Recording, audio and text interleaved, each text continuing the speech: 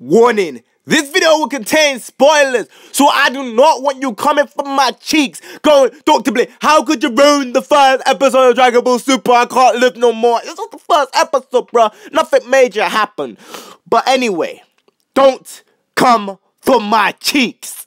I'm warning you, this will contain minor spoilers. And yeah.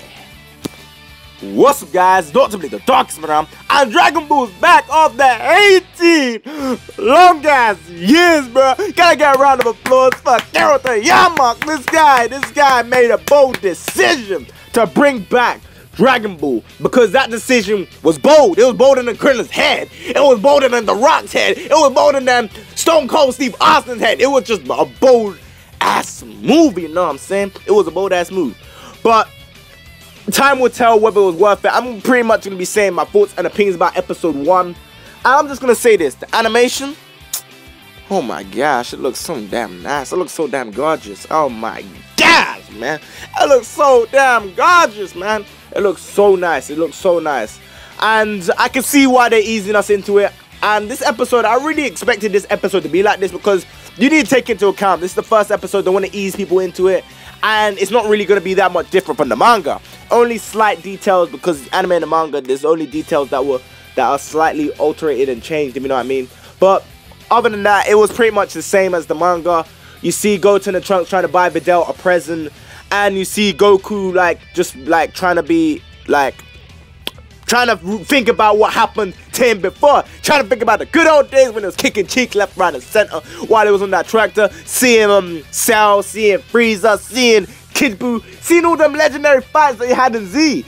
And yeah, like Goku was reflecting on his time, at the end of the series, Hercule ends up giving him the money is like, bruh, I, I, know I know you hate your job. Uh, just take this. I, I'm a I'm I'm balling the money already. I'm rich. I'm rich already. So just take this, bruh. Take this. You you just take this, bruh. Just take this. And Goku's like, nah, bruh.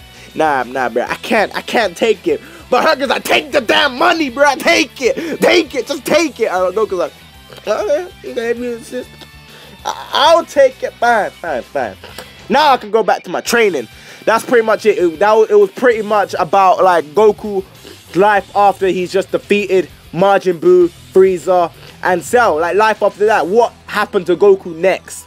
And he was he looked like a bored ass guy. That guy was so bored. He was reflecting about the good old times when he was kicking cheeks left, right, and center.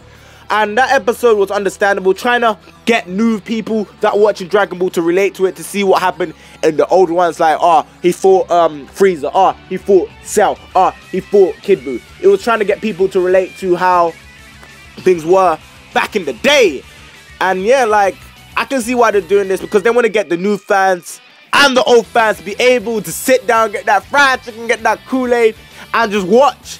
They want to get that feeling of like people wanted to watch and see what's gonna happen next. And yeah, the first episode was, I'm not gonna lie, because I couldn't understand it, I'm gonna say it's boring because I can't understand it. I can't speak Japanese. I can't understand Japanese as well. So that episode, I was, I was more, I was so clueless. I knew what was happening, but it wasn't really like, oh, this episode. It wasn't really that exciting. But for any of you guys, English dub should come out today, I think.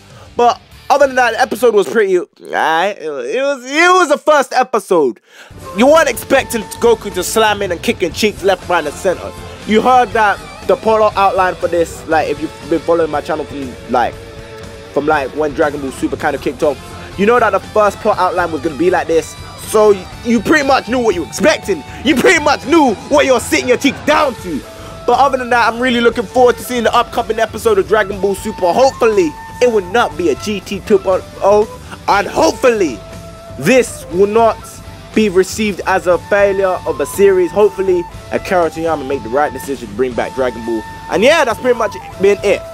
This has been your UK chocolate brother, Dr. Blick, at a time for me to put down that fried chicken and the Kool-Aid and wrap up this video. Please comment and subscribe. I know I say this all the time, but at the end of the day, I'm just saying, please leave a like, rating, enjoy this video, and yeah, this UK, Chocolate Brother, catch you next one, guys. And guys, be sure to put your thoughts and opinions down in the comments below what you uh, what you guys actually think of Dragon Ball Super Episode 1. Just put your thoughts and opinions down in the comments below. Tell me what you think and your thoughts and opinions. Because I want to know what you guys thinking. And yeah, catch you next one, guys. Bye.